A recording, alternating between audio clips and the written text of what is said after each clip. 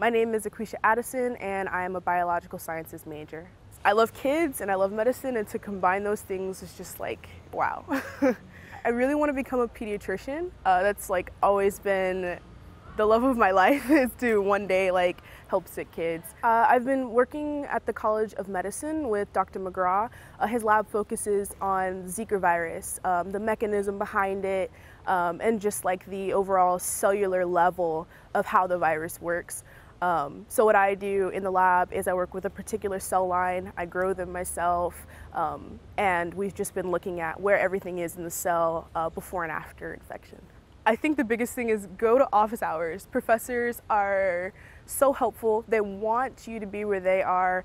Um, the biggest mistake I made my first my first year um, was not going to them and asking them, "Hey, what are you doing in your lab?" or how can I get a little bit more involved in this? Um, because so many of the professors that I'm close to today, they're advisors for the organizations I'm involved in, um, and they're also writing recommendation letters for me now as I move on to grad and med school. So just opening up that conversation and not being afraid to put yourself out there and tell them what you want to do.